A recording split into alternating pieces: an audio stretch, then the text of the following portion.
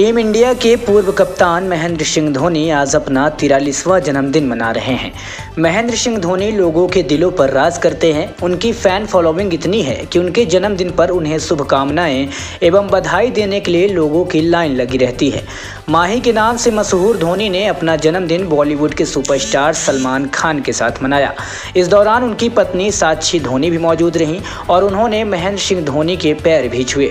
सलमान खान के साथ मनाया गया जन्मदिन का वीडियो सोशल मीडिया पर खूब वायरल हो रहा है। आम लोगों के साथ साथ क्रिकेट फैंस भी इस वीडियो को काफ़ी पसंद कर रहे हैं।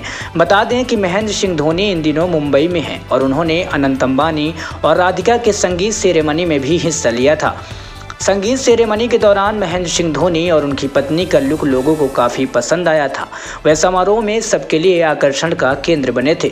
समारोह में हिस्सा लेने के बाद सलमान खान के साथ उन्होंने होटल में अपना जन्मदिन बहुत ही शानदार अंदाज में मनाया।